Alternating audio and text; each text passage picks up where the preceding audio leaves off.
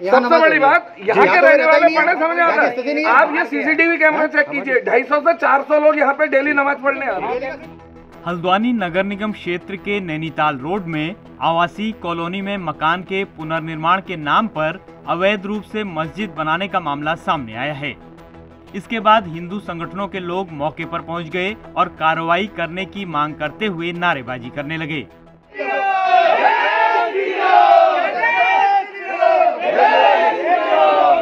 आधी रात को हुए बवाल के बाद पुलिस प्रशासन के अधिकारी भी मौके पर पहुँच गए। नमाज़ पढ़ाने वाले मौलवी को भी बुला लिया गया।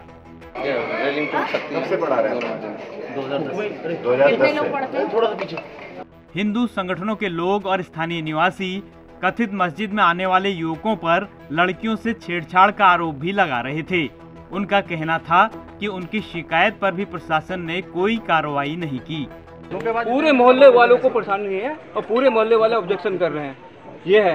और कब से एक किसी लेडी ने यहाँ पर अभी लिखत कंप्लेन भी दे रखी है और लिखत उसका नहीं, दिखाई भी किसको दी थी आप? ये सिटी मस्जिद को भेज रखी है क्या आश्वासन मिला था आपको? आश्वासन मिला था कि हाँ इसको बंद करा जाएगा। हम हम देखेंगे कहा था। उसके बाद करते क्या है कि दो पीपल आ जाते हैं।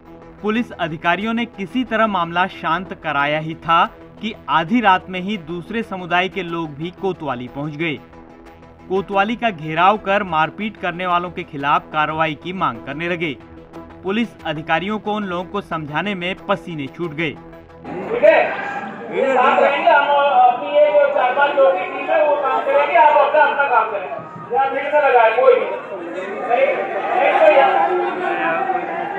भैया आप की बात नहीं मानेंगे, क्या की बात नहीं मानेंगे तो गलत हो जाएगा। एक बार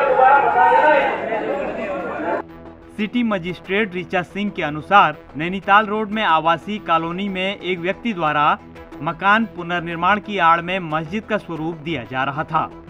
जिला प्रशासन और पुलिस की टीम ने निर्माण कार्य रोककर मकान को सील कर दिया है।